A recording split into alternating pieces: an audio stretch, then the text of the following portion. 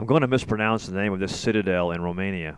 Cetatea Rupi. Just down the road is a village where I visited a traditional Romanian farmers market.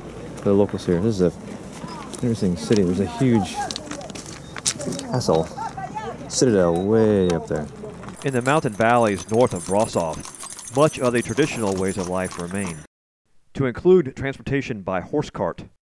Horse-drawn carts are allowed on Romanian roads, are registered, and even have license plates. And it's not unusual to see domesticated herds of animals escorted through the streets of small villages to their pasture lands.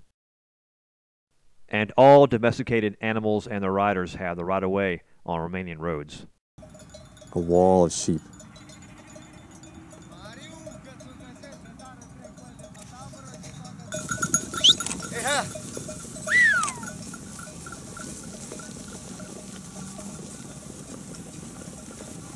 There's the farmer's market uh, that's south of Tar- Taramurez.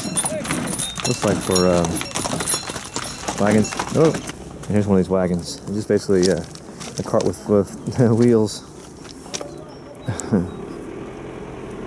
that's how This market provides essential trade for citizens, farmers, ranchers, and those who can't afford cars to buy, trade, and sell tack, gear, and animals to support their livelihoods. the young ones here to for the next pullers. Like pregnant. And pigs. The traditions are as old as the country and live on to this very day. Got to get this horse in that wagon there, not so easy. It's just too steep. He likes the idea of it, man. I was impressed by this older woman's handling of her horse and cart. These are traditions handed down through generations. From the wise to the young, generations learn how to live outside the digital age. Yeah, so the, the calf's getting tied up. Taking a while. Mă! Ce vrei să faci cu mine? Hai bă că cu ăsta mai... Different breeds of cattle are bought, sold, and traded here as well.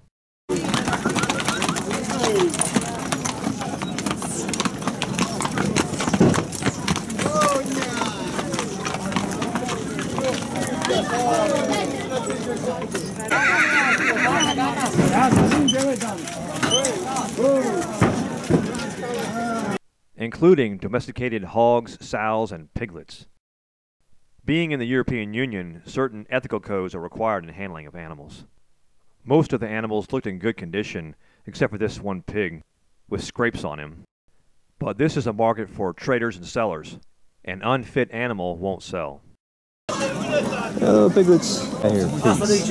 Frank. Hai ce porci fai, mă nu să vă bine. Nu zi, Sorine, că mă duc să strâng. Cu frate. Some of the animals were restrained for their own protection.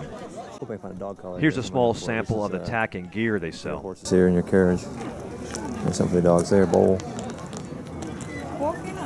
Bells. Da, ea poți să-i dai jos. And harnesses. An entire documentary could be done on the sheep herding and the sheepfolds in Romania. They go back as far as the country's history.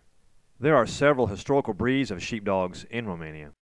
These are the only two sheepdogs I saw for sale. Puppies. Aren't they cute? I got a picture of them. Yeah. Cow dogs. Romania has a rich cultural history. I hope you gained something out of this small glimpse of cultural history of a traditional Romanian life. It has value because it teaches us survival techniques outside of industrial modernization, but also because it's part of our human heritage. Much of it is lost due to modernization. I found both the modern and traditional peoples of Romania warm and welcoming, as well as the beautiful scenery. I would not mind going back.